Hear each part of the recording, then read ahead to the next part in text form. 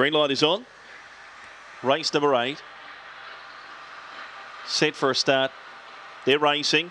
And winning it in the centre was Savannah Icon with Sunlit Breaker. The two favourites go to the lead with Quando Quando driving up on their inside. Jacobite Joseph trying to follow through. Then Lady Christina Dodge and Steele a packing field. Getting the rails run. Jacobite Joseph took the lead. Got clear of Sunlit Breaker and Quando Quando.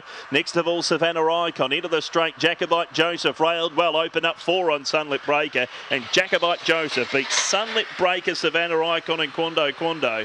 Then Dodge and Steele Lady Christina 20. 25.43 the winner's time.